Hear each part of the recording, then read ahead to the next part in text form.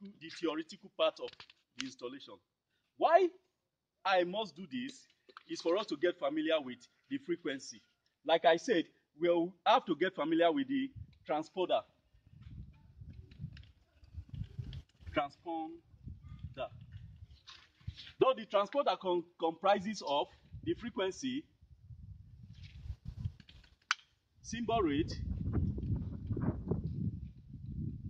and the polarization.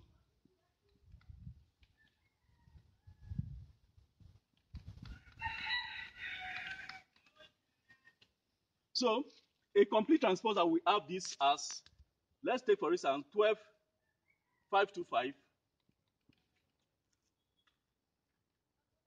horizontal, 27, 27, 500.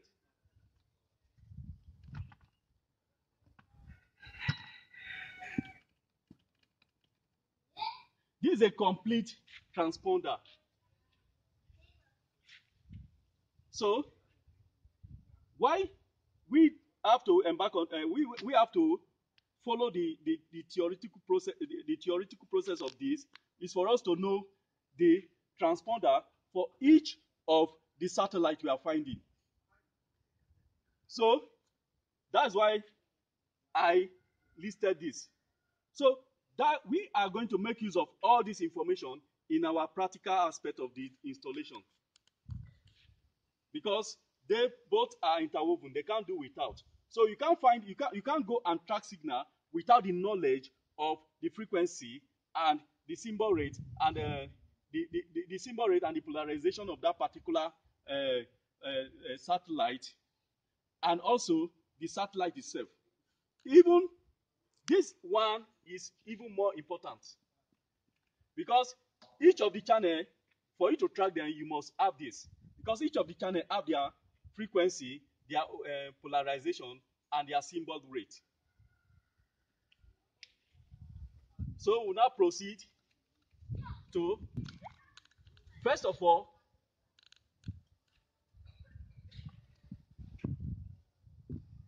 for you to involve uh, for you to go into dish installation you must follow this process. First coupling of dish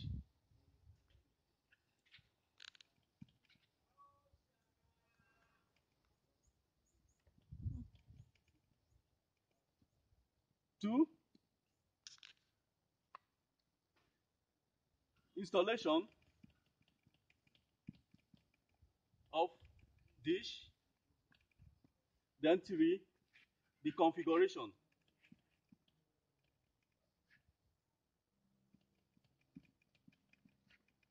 So we will start off we will start with the coupling. Mm. And the fourth stage which is more important are is the tools. The necessary tools.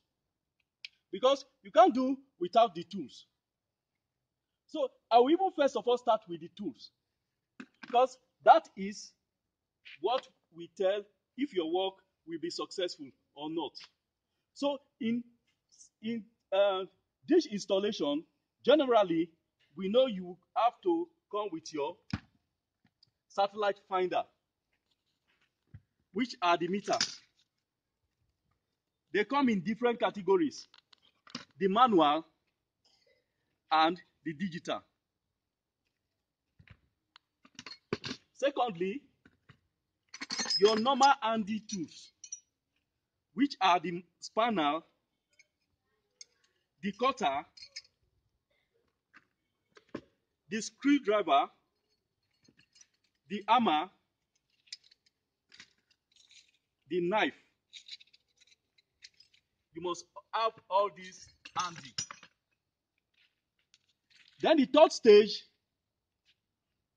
is the dish itself. The decoder that is the receiver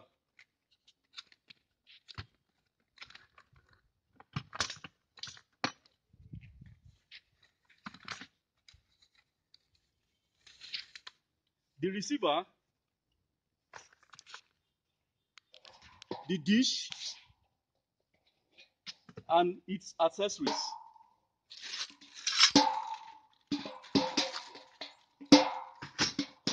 So, all these have to be available. So, I've not talked about the tools. We'll now go to coupling of the dish, which is the first step. I will start by coupling the dish. Like I said, your handy tool have to be available. I will start with the knife.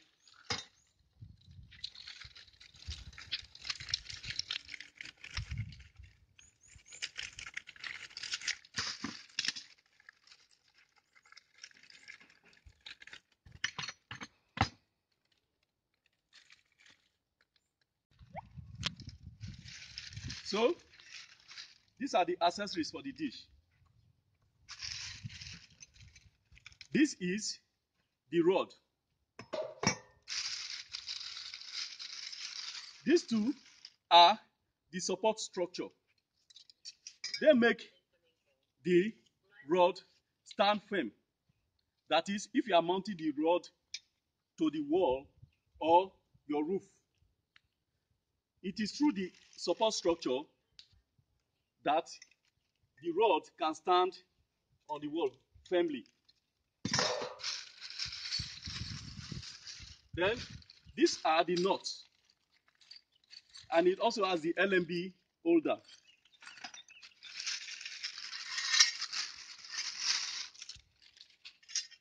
This is the angle iron.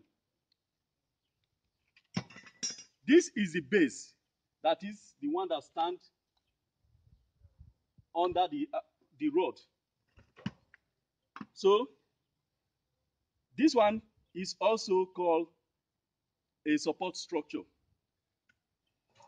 This is the arm. They also call it the elbow. This is the one that holds the LNB. So I will start by coupling. And with my spanner.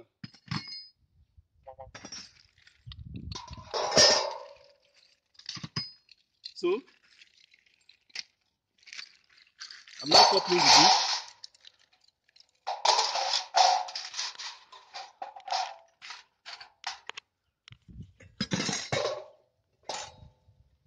In coupling, this arrow must face opposite the L shape.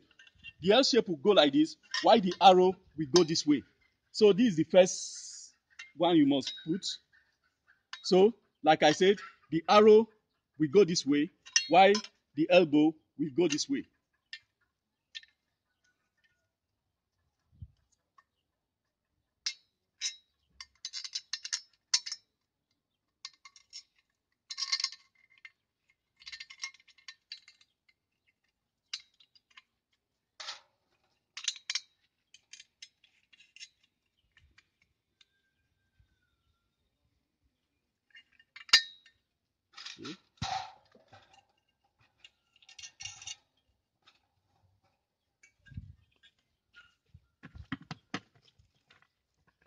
So it's always advisable that your spanner has to be in pairs.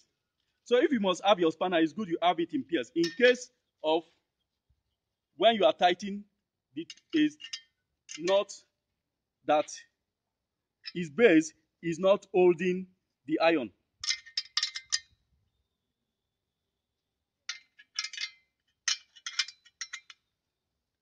And each time you tight, your tight your knot, it has to be firm. Very, very firm.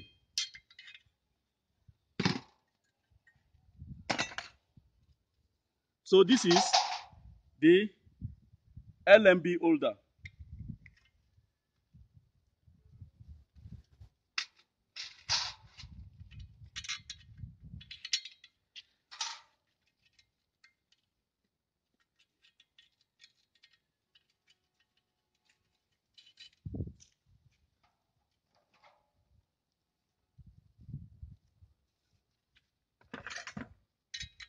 Like I said, your spanner has to be in pairs so that when you are tightening something like this, if it's not in pair, you may not be able to make it firm.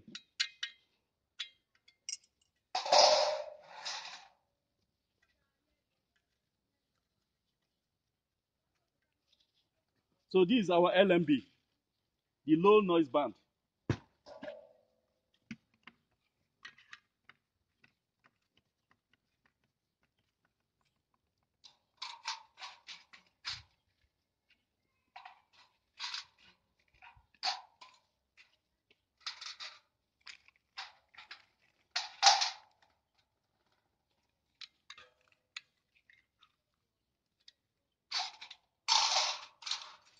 So if you watch closely, you know that coupling of this is very easy.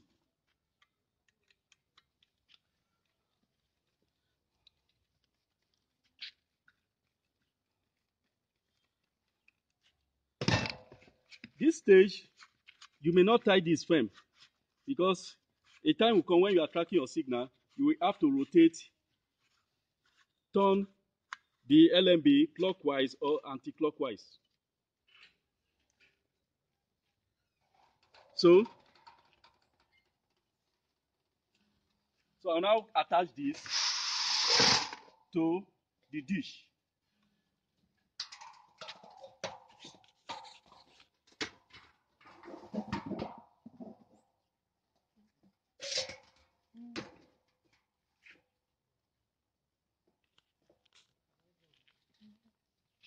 So,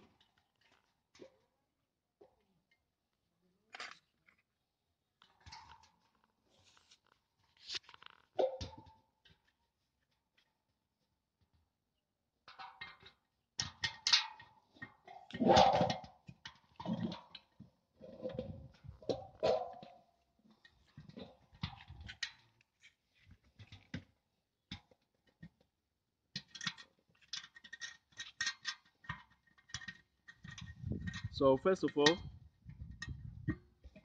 put this diagonal, di diagonally so that it will hold firm. So when it firm, I can now, that is the second knot and bolt.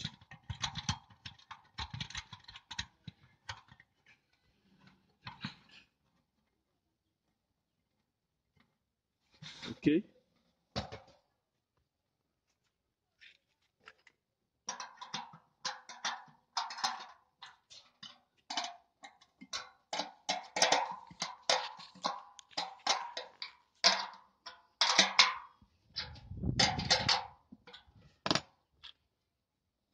So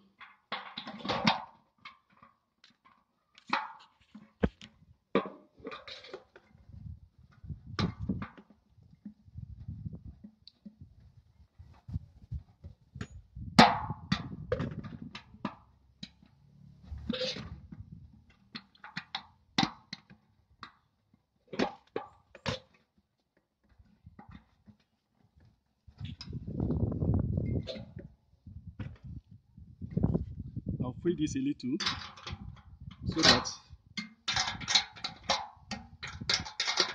it can balance, it can flush.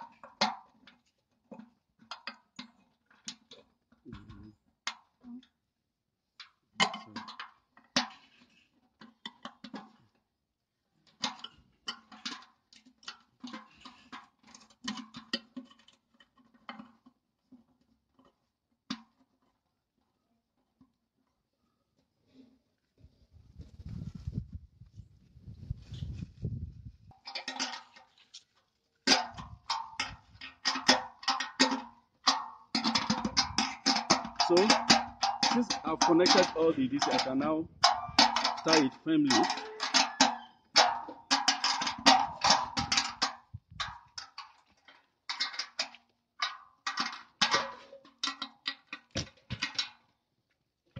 So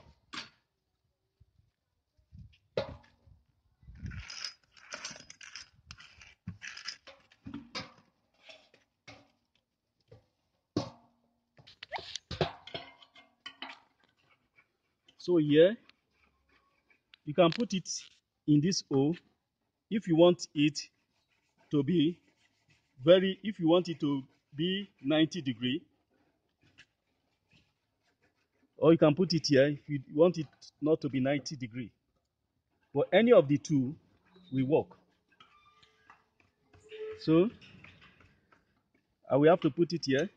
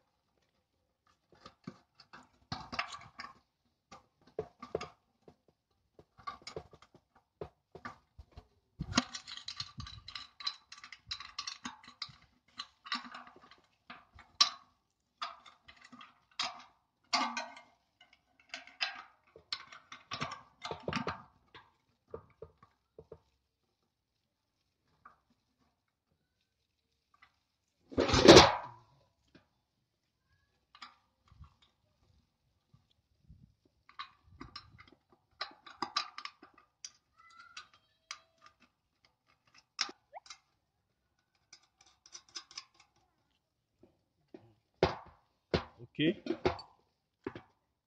so this is the hook.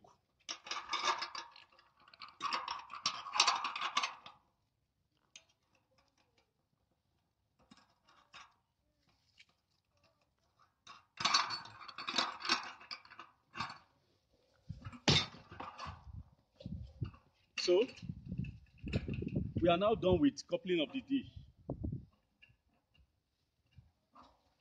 So this is how the dish should look like. You can see.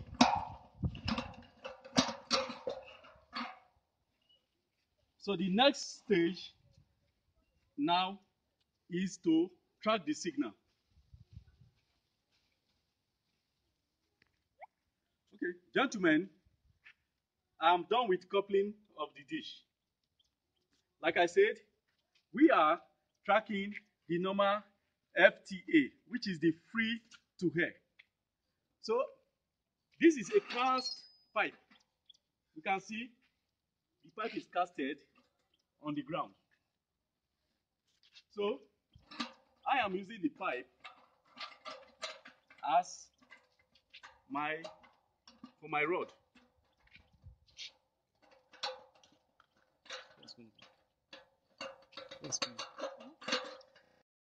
Number 2.